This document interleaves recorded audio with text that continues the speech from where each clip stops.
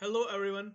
In this video, I'm going to show you how you can parse your PDF documents and extract information from your PDF documents using pdf.co web API. You will be using Postman API development platform to connect to pdf.co web API and then you will see how you can automatically extract information from PDF documents by parsing them and converting them into JSON format. So let's begin without an ado.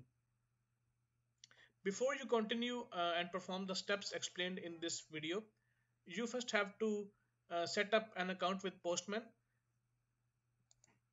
and you should also know how to connect Postman with pdf.co. So you can do so by going to this link. If you go to pdf.co slash Postman, you see this process explained here, how to connect Postman with pdf.co. Now let's go back and see how you can parse a PDF document and extract information from it and then convert that information into JSON format. So once you connect Postman with pdf.co, you will see uh, a collection here. In the collections tab, you will see pdf.co API list. So if you expand that, you can see different services provided by pdf.co web API. So we want to parse our PDF document. So we will select this.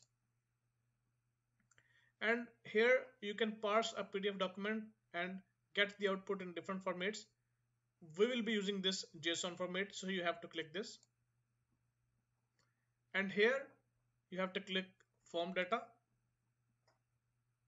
Here you have two options. The first one is you have to specify the value for the inline attribute so if you specify inline true, you will see that the parsed information will display here in your Postman dashboard. If you set, set this value to false, you will get a link and then through that link you can get the parsed information. So we will keep this as true and here you have to pass the URL of your PDF document. So as a sample, you will be parsing this PDF document. The link is here. You can use this link to access this document. So this is the document that you will be parsing. So we copy and paste this link and pass it here. And then you simply have to click the send button. And here you have the parsed document information in the form of JSON format. You can see it here. You can simply copy it and then open it in the editor of your choice. So instance if I open notepad here. Here you can paste the information and you can see the information extracted from your PDF document. The other option is you set this value to false and then click send again.